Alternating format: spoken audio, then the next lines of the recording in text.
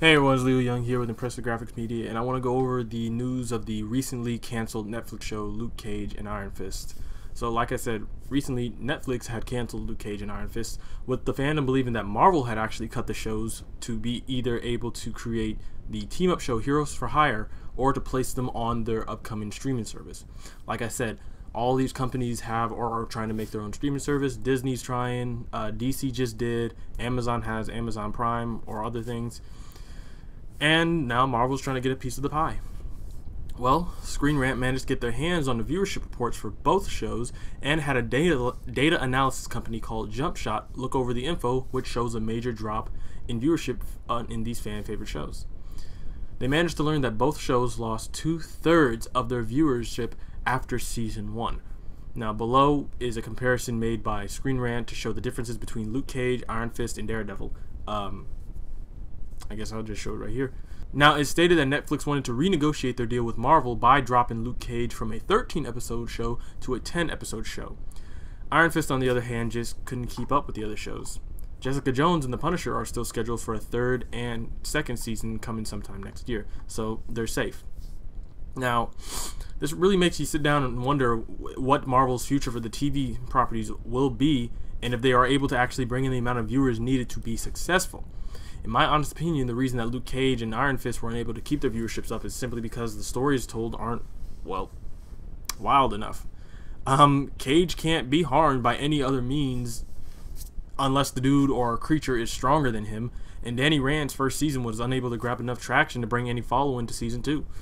The idea that the show's going to Heroes for Hire wouldn't be able to happen. It actually wouldn't make any sense the more I think about it because of where Luke Cage season two left off, and they that's just about it. They became too grounded in a sense.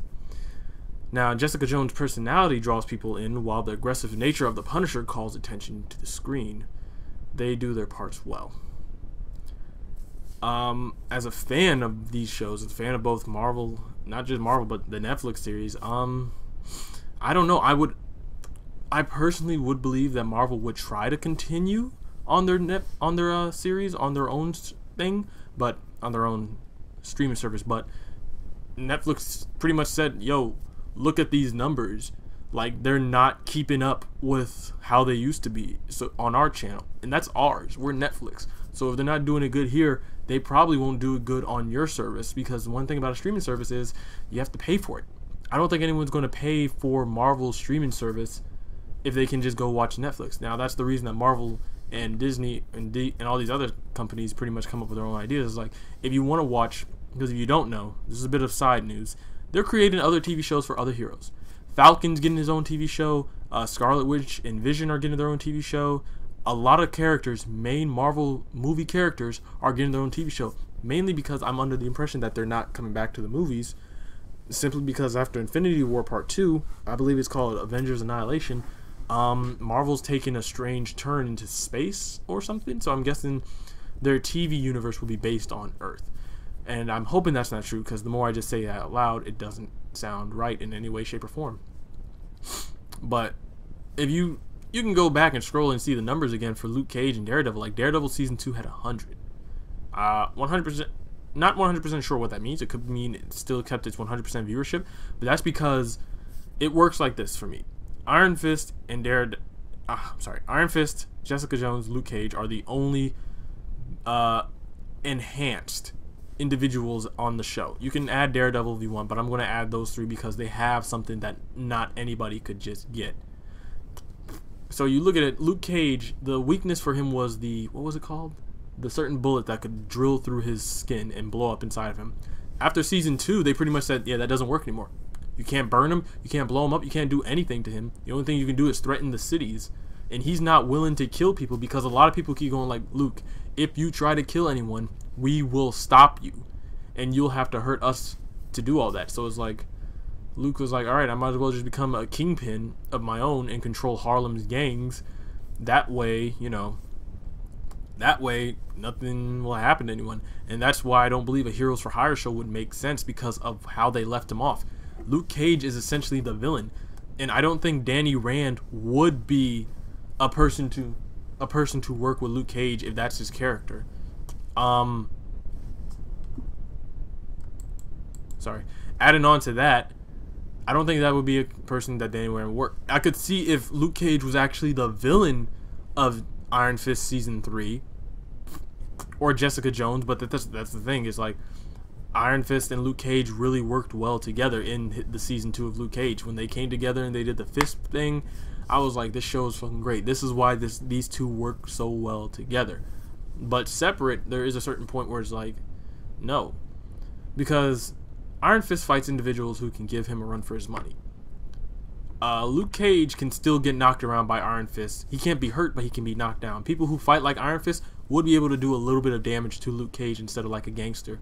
And people like Luke Cage, Iron Fist would have to put a whole lot of effort into taking them out. Combine the two, they work well together. I'm sorry if I'm going on a quick rant. That's that's that. What I'm trying to say is they're like I said, too grounded. Luke Cage is fighting gangsters and shit.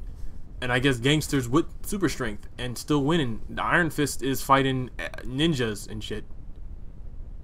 I don't actually know. I didn't watch Iron Fist 2, so I'm suspecting that he's fighting the hand and num a number of ninjas, or he's fighting the corporate world. Either or is scary, in my opinion. Jessica Jones, however, it's her personality. It's the fact that she was raped and she's fucking healing from it. She has PTSD. She's an asshole.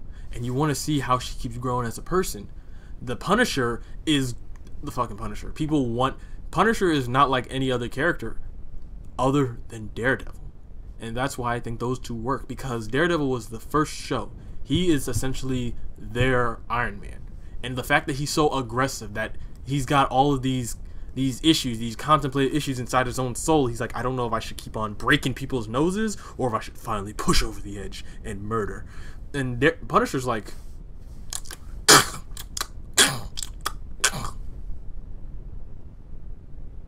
Rick! Uh, Walking Dead joke. But that's essentially it. These characters are so violent and aggressive that we're not used to that from Marvel. Even Hulk has become a bitch. I'm not even gonna like bleep that out. He's become a bitch. I'm sorry. Sorry, uh, Takiti Wakiti, Wak, Wak, Wak, Wak, the guy who made Thor Ragnarok. Good Hulk, made him a bitch. But coming back to the TV shows, that's where I'm like, okay, so these shows aren't wild enough. I don't, I don't generally know because Luke Cage, that's the thing about Luke Cage. He seems like he's got his shit together. Like he seems like he's at the pinnacle of where he could be as a person. Like he'll learn from this mistake and then he'll go back to the to Pop's like barbershop. But as a human being, Luke is all that's why I wasn't happy with season one of Luke Cage. I was wanting that ratchet, not ratchet, but that ghetto ass, sweet Christmas, y'all drive ass crackers. That kind of, not that specific Luke Cage, but something similar to that because Luke in my head, ever since I first met him or read and played a game about him, um, he wasn't very chill. He became chill as time went on, but when he started, he had no chill. He was just too smooth, cool. You know, he's too cool for school, whatever the hell it is. That's how I see it. Iron Fist, I don't really know.